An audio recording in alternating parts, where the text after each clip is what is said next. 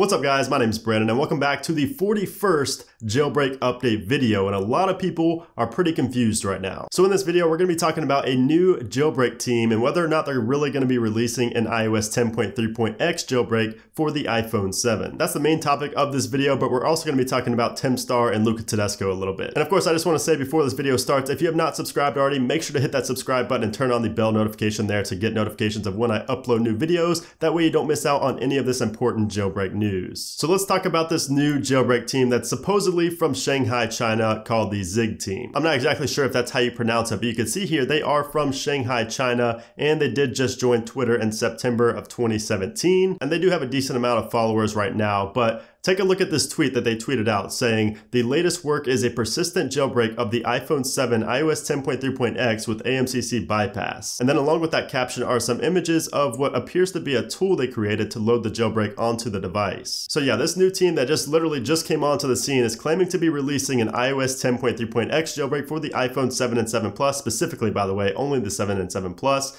But is it actually legit? Are they actually legit? Is this tool that they showed screenshots of actually legit? And are they even going to release anything at all? That's what you guys want to know, so that's why I'm here to answer for you. So first of all, are they actually legit and are they actually going to be releasing this jailbreak tool? And the answer to that is probably not, but I would not completely rule them out just yet. Now you guys know I do not talk about fake jailbreak teams at all on this channel because I've always said my policy all along on this channel with these jailbreak update videos is that if I do not talk about a jailbreak team, you could just assume that they are fake and there's a reason I didn't cover them because I didn't want to give them publicity. Now this team and me talking about this in general right here is a slight exception and the only reason I'm talking about them is because I've had so many people messaging me more than any other team before about whether or not they're legit or not. So I didn't want to leave you guys hanging. I just wanted to make a video to clear everything up and what I think about this team. So first of all, they just joined Twitter last week, which makes them very likely to be just a fresh troll account. Now you can see here in their bio, they are supposedly from Shanghai, China, and that's, you know, the area where most of the jailbreak teams originate, but anybody can put that location on Twitter. Anybody can say they're from Shanghai, China, and not actually be from there. Now here's the one thing that adds any legitimacy at all to this jailbreak team, and that is the people that are actually following them on Twitter. So you can see here, they're followed on Twitter by a few trustworthy members of the jailbreak community. Liang Chen, who actually presented the Keenlab 10.3.x and iOS 11 jailbreak at MoSec this year, along with Chronic, who, however, did later confirm that he's not sure if they're legit or not in a tweet where he offered to verify basically their legitimacy if they can provide technical analysis of the jailbreak.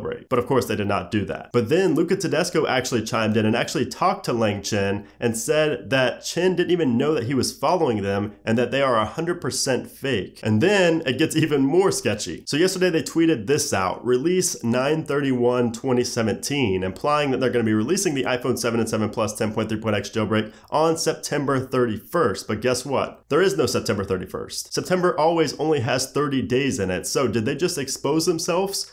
That's very possible. Did they make a typo? That's also, I guess, somewhat possible but there's a good chance that they exposed themselves from this tweet. So once again, I'm not gonna say that this team is 100% fake because there's nothing to prove that they are 100% fake. However, there is nothing out there at all that proves that they are legit. So until something gets verified, until they release something or somebody that's trustworthy in the community verifies anything that they've done in the past or that they're working on now, there's no reason to believe that they are real and that they're actually gonna be releasing anything. So as always, we just have to stay patient and have no expectations going in. If a jailbreak happens, it happens, but don't expect it. You know, don't don't get too excited for it and everything like that. You're just going to be let down. I mean, just be happy with what you have on your phone now. We have the plus plus applications. We have, you know, the no revoke thing going on right now. We have the new iPhones coming out. So just let it happen. If it's going to happen, that's going to be the best way so you don't let yourself down and be disappointed. Now, let's talk about Tihmstar, who's been working really hard, been crushing it lately in the jailbreak community. So he tweeted this out yesterday. I ported the Trident exploits to 8.4.1. However, as expected, Home Depot's kernel patches and patch finder needs quite a few changes. He then followed up today with a screenshot of the jailbreak in Cydia running on iOS 8.4.1 with the caption, there's something in the works. Now this is awesome news for all you 32-bit users out there who are able to downgrade to 8.4.1. As you can see by the retweets and the likes on Twitter, and then you can look at Reddit and how crazy people are going on Reddit as well, a lot of people are still here. You know, a lot of people are still on 32-bit devices. A lot of people are still able to downgrade to 8.4.1 and get that jailbreak. So I don't want to see all the negativity in the comments saying, you know, oh, sh he should be working on iOS